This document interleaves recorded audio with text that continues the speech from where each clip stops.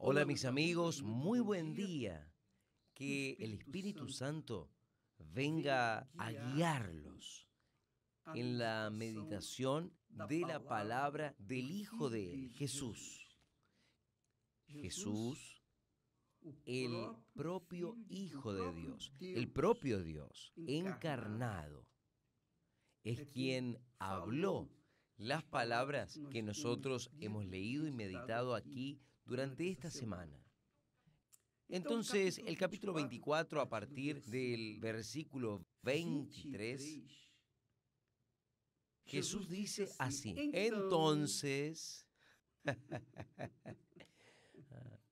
entonces, se, se puede verificar, confirmar que Él da una descripción de un hecho profético y después él añade.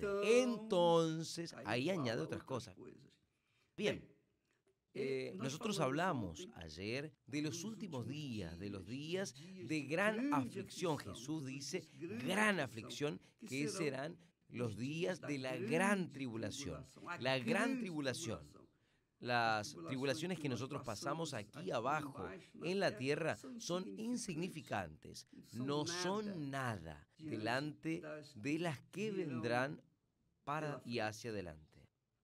Y Jesús dice así, si en aquellos días de gran tribulación, de gran tribulación, no fuesen abreviados, ninguna carne se salvaría. Pero por causa de mis escogidos, serán abreviados aquellos días. Y es ahí que él continúa.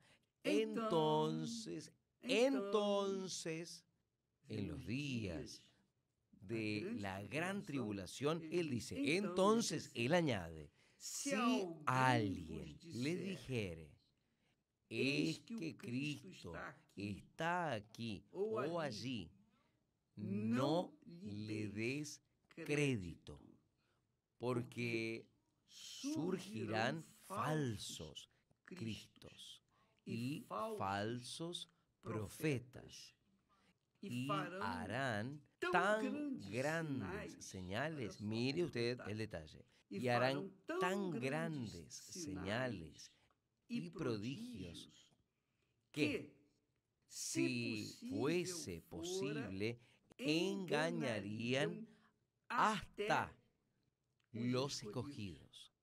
Hasta los escogidos.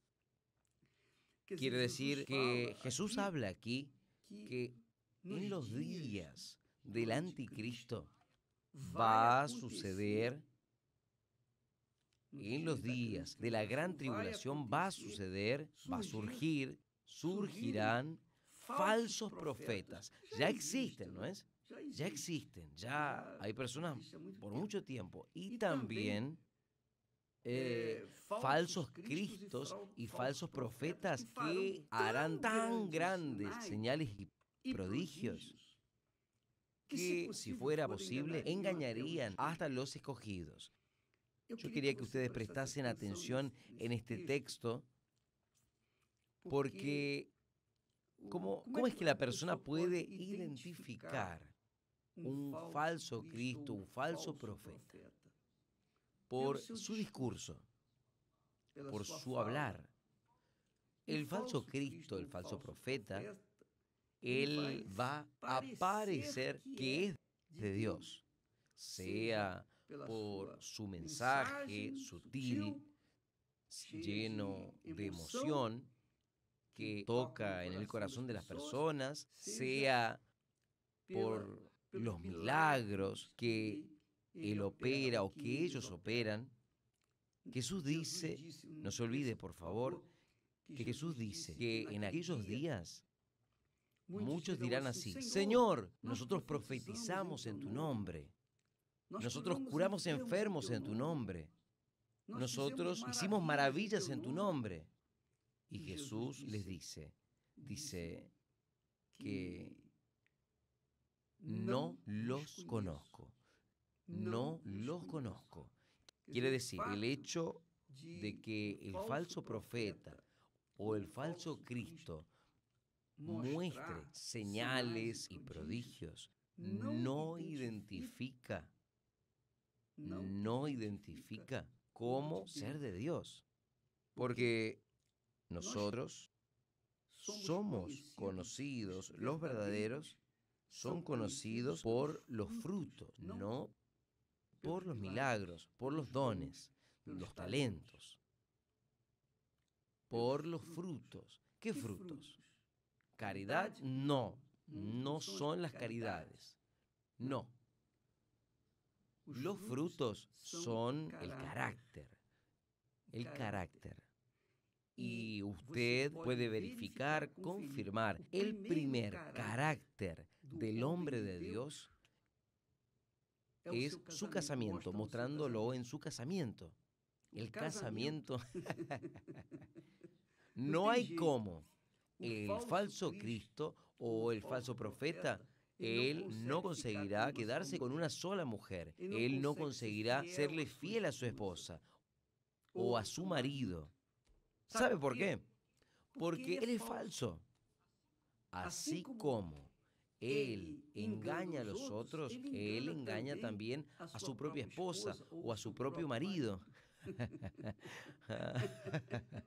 ¿No es bueno eso? Muy fuerte esto. Es por eso que en la Iglesia Universal del Reino de Dios, cuando el pastor no está bien con la esposa, él no se puede quedar en el altar. ¿Por qué? Porque si él no puede ser leal y fiel a aquella persona que él ve, que él ve, que ella ve que es la esposa, que le cuida la ropa, cuida su comida, lo cuida a él diariamente, que duerme con él, si él no puede serle fiel a esa persona, ¿cómo él le va a ser fiel a alguien? A alguien que no ve, que es Dios. Él no toca y no siente. Entonces, es fácil identificar a los falsos profetas, los falsos cristos, los falsos cristianos. Digamos así, basta ver a partir de su casamiento, de su hogar. Cuando la persona es de Dios, ella tiene un casamiento sólido. Ella es fiel a su esposa o a su marido. Tiene un testimonio dentro de su propia casa. No sirve tener un testimonio del lado de afuera. Tiene que tener un testimonio dentro de la casa. Si los hijos son temerosos a Dios, normalmente, entonces nosotros podemos identificar a los falsos cristos o a los falsos cristianos o a los falsos profetas a partir de esa piedra, que es el casamiento. El casamiento no es simplemente usted casarse, ir al altar y casarse con cualquier uno. No, el casamiento es una analogía, el casamiento que nosotros tenemos con Dios. Si yo soy fiel a Esther, yo le estoy siendo fiel a Dios.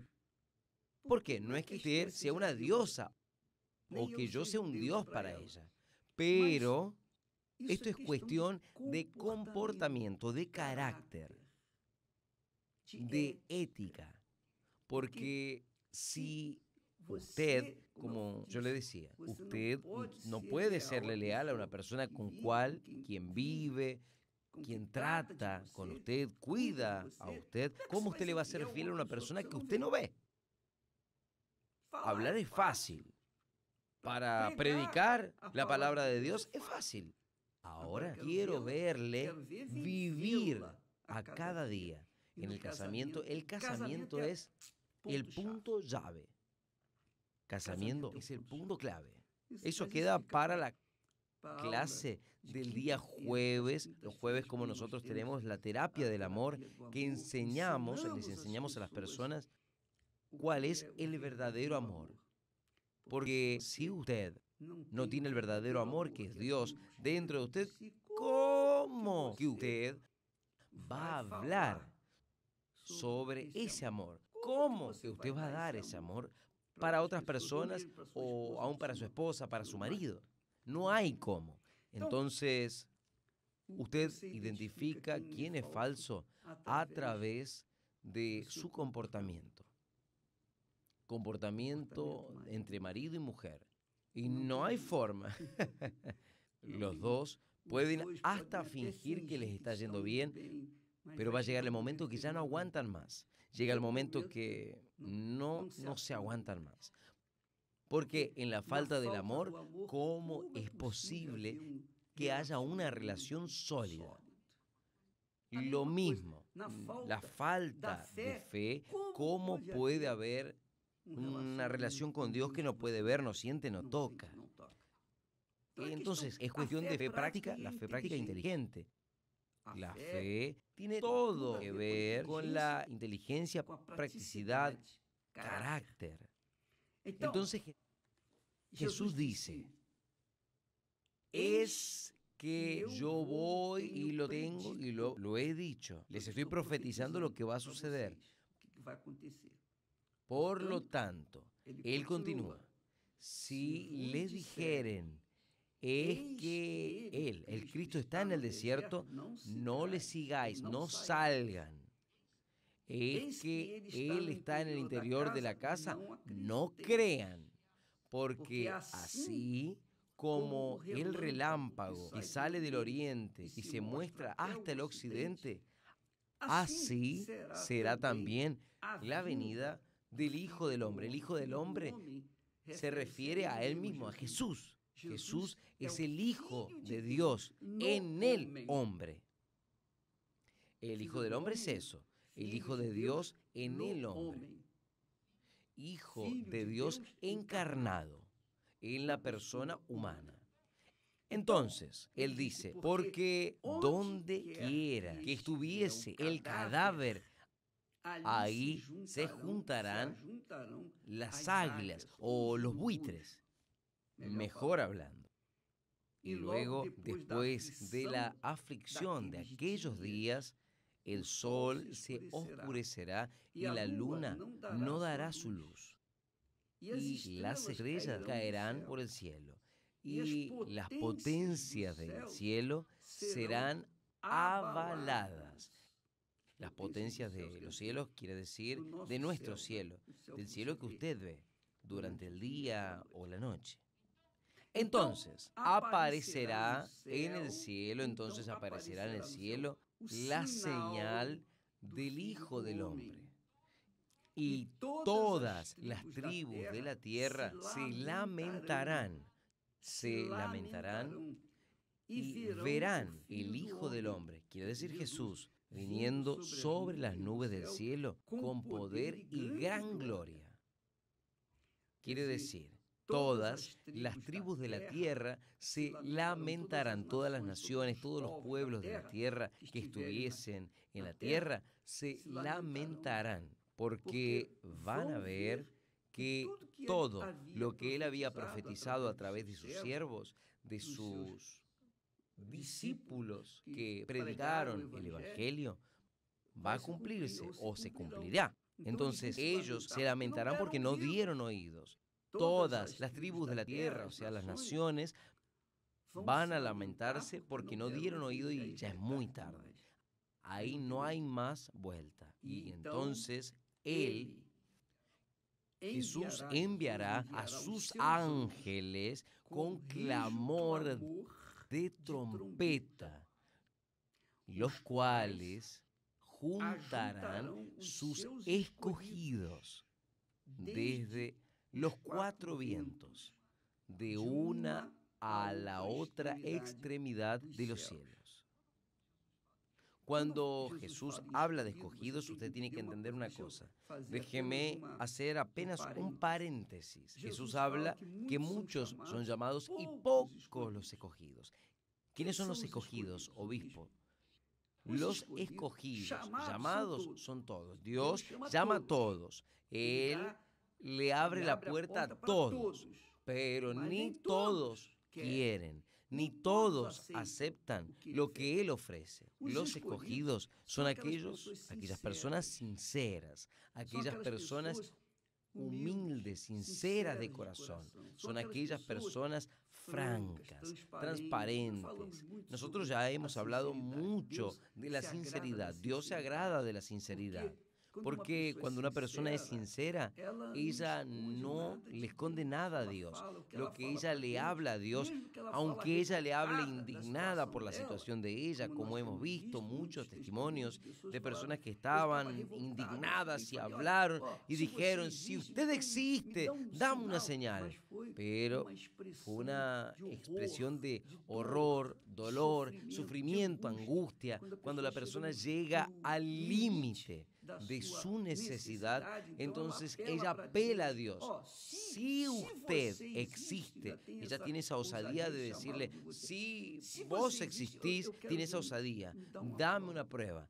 Esa manera de ruda de hablar con Dios le muestra una transparencia, una sinceridad, muestra lo que la persona es y no aquella criatura religiosa que dice, Señor, ten compasión, tenga misericordia, todo de la boca para afuera. Porque de la boca para adentro solo hay fingimiento. Pero, ¿qué le vamos a hacer? Dios escoge a los sinceros, a los transparentes, a los francos. Usted sabe, aquellos que tienen un discurso políticamente errado, no políticamente cierto, correcto. Dios coge a aquellos que son lo que son. No fingen ser una cosa que no son. Ellos son auténticos. Dios llama y los él los llama a todos y escoge apenas a aquellos que son sinceros. Esa es mi manera de ver. Es esto lo que yo entiendo. Es esto lo que he visto en la experiencia que nosotros hemos tenido con personas que se han convertido. Son esas personas que son sinceras, que fueron transparentes delante de Dios. Ahí él dice así, aprended pues esta parábola de la higuera. Cuando ya sus ramas se vuelven tiernas y brotan hojas, sabes que está próximo al verano. Al verano. Igualmente, cuando vieses todas estas cosas, sabed que Él está próximo a las puertas, que es lo que nosotros estamos viendo. Las guerras. No, no son solo las guerras, las señales de la vuelta de Jesús. No son solo las guerras, sino también todas, todas las catástrofes, catástrofes que suceden en el mundo, terremotos, maremotos y lluvias torrenciales y, en fin, todo lo que nosotros hemos visto, todos estos cambios de climas, por ejemplo, todos estos cambios, está apuntando para la señal de la vuelta de nuestro Señor Jesucristo. Son señales, señales de la vuelta de nuestro Señor Jesucristo. Y Dios permite todo esto que suceda, maremotos, terremotos, incendios por todas las partes, en fin, un infierno en esta tierra. O sea, un pedacito de infierno en esta tierra. Y Dios permite, y permite para llamarnos nuestra atención, para llamar la atención del ser humano. Es como, por ejemplo, cuando nosotros tenemos un dolor de barriga, de estómago, hay algo que está errado. Entonces uno va hasta el médico. Oh, doctor, tengo un problema de estómago. Si uno no tiene el problema de estómago, uno no quiere saber del médico. Si no hay un dolor del diente, no va al dentista, ¿es verdad o no es? Entonces, así es Dios. Él, para llamar nuestra atención, permite las tribulaciones, las angustias, el sufrimiento. Entonces, usted que está participando, usted que siempre nos ve, Dios le está llamando la atención. usted no lee o no le da oídos a la palabra de Dios o no presta atención, no obedece a la palabra de Dios, usted va a sufrir hasta el momento, si usted, fuera, si usted fuera sincero, va a sufrir hasta el momento que usted no aguante más y ahí usted va a clamar con todas sus fuerzas, con todo su corazón y Él va a oírle va a oírlo y va a atenderle y va a mostrarle que Él es perfecto. ¿Está bien? Entonces usted no se queda desesperado ahí por las señales, usted tiene que estar desesperado por la situación espiritual en cual se encuentra en este exacto momento. Su vida. Usted tiene seguridad. Si usted se muere, ¿para dónde va su alma? ¿Tiene seguridad? ¿Tiene seguridad de la eternidad de su alma? ¿Para dónde va su alma? Pues es. Si usted tiene seguridad para dónde va su alma, gracias a Dios. Pero si usted no tiene certeza para dónde va su alma y usted se queda siguiendo las filosofías baratas de este mundo satánico, usted no tiene la seguridad, la certeza de la salvación. Entonces, corra atrás, amiga, amigo, porque Jesús dice, es que estoy en la puerta y golpeo. Si alguien oye mi voz y abre la puerta, yo entraré y con él cenaré.